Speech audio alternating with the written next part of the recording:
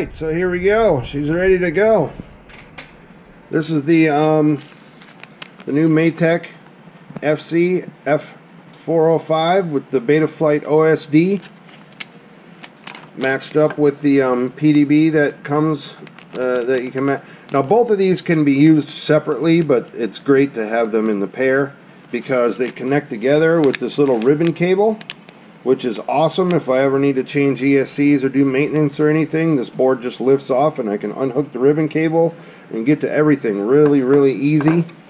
Um, the setup on this thing and putting it together was, was super easy and super convenient with the ribbon cable because it has the, the ESC signal um, right here on the PDB with your current sensor and everything. So all I had to do was put the PDB on, solder the ESCs on, and ribbon cable this baby to the top and hook up my VTX and cam. It was simple as can be. Um, and uh, when I hooked it up to Betaflight, all the ports and everything were already configured in this, which was really cool. The only thing um, you have to do is if you go to the go to the um, there's there's a whole web page on this flight controller. If you go to the Matek FC F405, um, a whole entire web page will come up with all the details on this thing and how to calibrate the current sensor, how to hook it up with the ribbon cable, how to hook these up traditionally or separately or anything. I've never seen anything like it with so much information on how to set this up. There was like no guesswork, right? It was just straightforward. So anyway, here it is on, on my 6 inch with some uh, beastly F80 uh, 2200 kVs and uh, so now we'll head out to the field and give her a rip. See how she goes. Aight? Alright, so here we go. Maiden voyage of this uh, new Matek board. Got video. See how she feels. Well, the setup was pretty easy.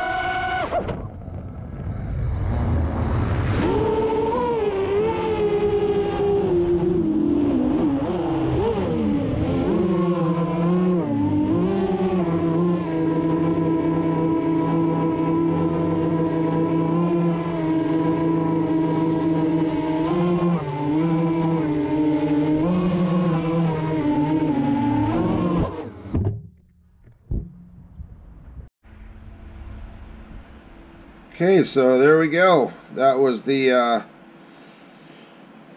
maiden flight. And as you can see, I was doing split. uh, That was on default PIDs. All I did was plug in my rates. And uh, the video's nice. And she flew, flew, uh, man, locked in. Snappy. As you can see, I was doing split S's, you know, and dropping straight down 100 feet through my own prop wash and not a jitter.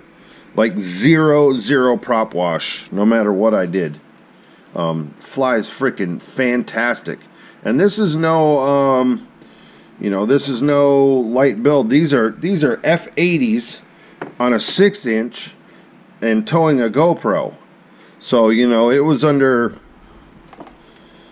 you know, extreme duress. uh, um, and it flew freaking great, man. This new Matek board and the setup on it was so easy. I don't know if you can see. Let me see if I can get this. You can see in there, but look how clean that build is. No wires, just the little ribbon cable. This may be my new go-to board. I really liked the way it flew, and I really liked how easy and intuitive it was to set up. There was no guesswork. Just go to the little web page, and all the information was right there. And it freaking, as you can see, it flew fantastically. So, um, you know, other guys that have their claim to fame as zero prop wash out of the box, well, here you go. This is a Betaflight board, zero prop wash out of the box. And that's my thoughts on that. It's also compatible with 6S setup, but um, I really like the way this flew. I actually bought two of these when I bought them, so I'm going to put another one. Uh, I'm going to put one on a uh, five inch build and see how that goes. But I have I, after um, running it on this big beastly six inch, I know it's going to fly great. So I don't have any worries about that. Right, dog? Right? You agree? Do you agree? Yeah, I agree. It's good dog. She's better.